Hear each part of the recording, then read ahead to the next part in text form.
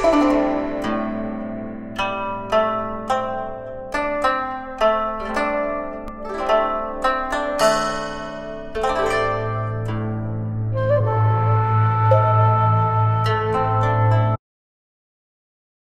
People हम भारत के लोग, जब हम ये बताते हैं कि हम सब लोग समण संघ में हैं और हम इकट्ठा हो रहे हैं अपने वेलफेयर के लिए, अपने कल्याण के लिए बहुत सारे नए लोग ये पूछते हैं, इकट्ठा होके क्या करोगे?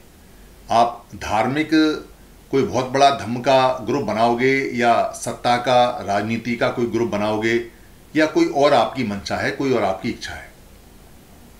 दरअसल उनका सोचना काफ़ी हद तक और उनका पूछना काफ़ी हद तक उनके मुताबिक सही है, क्योंकि अधिकतर जितने भी ग्रुप बने हैं छोटे छोटे ग्रुप या बड़े ग्रुप सौ लोगों के या दो सौ लोगों के या पाँच सौ लोगों के या हज़ार लोगों के या बहुत ज़्यादा किसी ने कोई ग्रुप बनाया होगा पूरे भारत में, चाहे वो धार्मिक है, चाहे वो सामाजिक है, चाहे वो राजनीतिक है, चाहे वो दल बल सेना संगठन लोग, लड़कों के हैं, चाहे टीचर का है या प्रोफेसर का है, या वो गैर सरकारी लोगों का है तो बस वो इतने ही बड़े ग्रुप रहे हैं और ऐसे ग्रुपों की संख्या, ऐसे ग्रुप्स की और ऐसे समूह की संख्या या ऐसी संस्थाओं की संख्या दस हज़ार से चालीस हज़ार के करीब बताई जाती है जो रजिस्टर्ड है।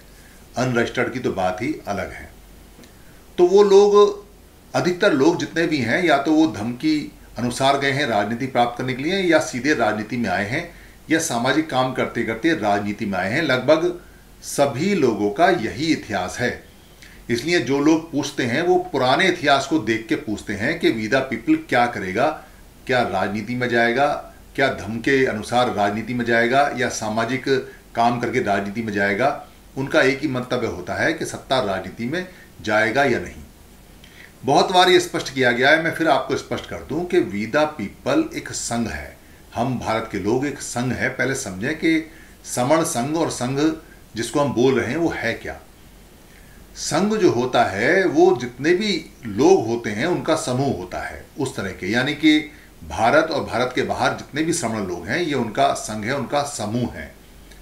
तो सारा का सारा समूह सभी काम करता है जैसे कि परिवार के अंदर जो लोग होते हैं कोई उसमें स्टूडेंट होता है कोई उसमें दुकान पे बैठता है कोई खेत में जा जाता है कोई सरकारी नौकर होता है कोई उसमें नेता होता है कोई परिवार या रिश्तेदार के अंदर रिश्तेदार के रिश्तेदार के अंदर कोई कार का मालिक होता है कोई फैक्ट्री का मालिक होता है कोई टैक्सी ड्राइवर ड्राइवर होता है कोई बेरोजगार होता है कोई प्रताड़ित होता है कोई प्रताड़ित करने वाला होता है तो सब तरह के जो लोग और परिवार हैं समण संघ में सब तरह के लोग आते हैं।